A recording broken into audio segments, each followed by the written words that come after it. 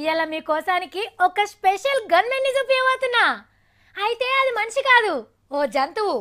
తుపాకులు పట్టుకున్న గన్మెన్ల కంటే అది చాలా పవర్ఫుల్ మంత్రి సార్ల కోసానికే స్పెషల్ డ్యూటీ చేసింది అది అందుకే ఎలా వార్తలకి ఎక్కింది ఇక జోగురామన్న సార్కి చెప్పి అఫీషియల్గా గన్మెన్ చేయమనాలి దాన్ని అని అనిపించింది నాకు.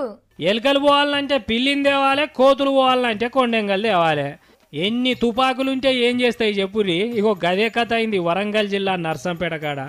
కట్టపొంచి కళ్ళు చెట్లు గుట్టల పొంచి నీడ చెట్లు పెట్టి హరితహారం షురువు చేద్దామని మంత్రులు వచ్చిర్రు. కష్టపడి ఊరూరు తిరుక్కుంటా అందరి బాధలు అరుచుకుంటా చెట్లు పెట్టిర్రు మంత్రులంతా. కడుపులో గాలినట్టే వరకు మాదన్నపేట చెరువు కట్ట కిందికి పోయిర్రు. ఇక వాటికి కూడా ఎంత ఆకలైందో ఎక్కడెక్కడి కోతులు అన్ని ఎగబడి వచ్చినాయి మంత్రులు వచ్చే ముచ్చట వీటికి కూడా ఎరకైందో ఏందో ఏరే ఊళ్ళో ఉన్న సుట్టపోలను కూడా పిలిపించుకున్నట్టున్నాయి. ఇంత ముక్కలు ఎక్కువ దొరుకుతాయని.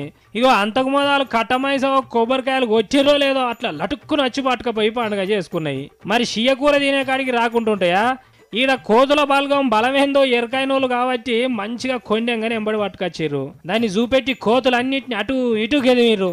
అగ చూడురి ఎట్లా కూర్చున్నదో పోలీసు వాళ్ళకే పెద్ద పోలీస్ సార్ లెక్క కూర్చొని అటు ఇటు కోతులను చూసి ఒక్క కోతిని దగ్గర రాకుండా సూపర్ హై సెక్యూరిటీ ఇచ్చింది మన మంత్రులకు. లేకపోతే వీళ్ళు మంత్రులు వాళ్ళు పోలీసులు అవి తుపాకులు అని చూస్తాయి ఆ కోతులు ఎగవాడి గీకి భువనంతా గుంజుకపోవా అంత ఆగమాగం చేయయా? అగో గందుకే ఈ కొండెంగు ఉపాయం చేసిర్రు వరంగల్ పోలీసు వాళ్ళు